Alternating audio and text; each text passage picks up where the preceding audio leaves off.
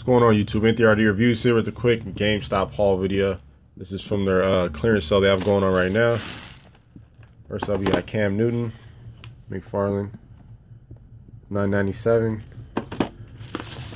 And with all their clearance items right now, buy one, get one free. So I also picked up Jack Cooper from Titanfall. So both of these together were 997 so that's a great deal. Check out your local GameStops. Uh, this sale lasts till September 10th. Got Cam and Jack Cooper. Put those to the back. Last thing I picked up.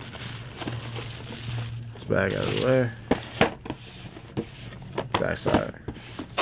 This beast. This awesome Xbox controller for Xbox One. 30 bucks, regular 60. This thing's pretty awesome, especially with the football season coming up. This is like real, uh, real football material, like the synthetic pigskin. They don't use pigskin anymore, but yeah, it's really awesome. And it's supposed to come with a free download for one of these, so you know I'm going with the Miami Dolphins. Yeah, let's look at the teams they have available. They had two of these in my store for 30 bucks. I needed a wired controller. Pretty sweet pair. I mean, put that with their uh, new Madden, which I don't have yet, but yeah, pretty awesome. So yeah, I picked up controller, Cam Newton, and the Titanfall figure, all part of the clearance. Well, this isn't, but these two part of the clearance sale.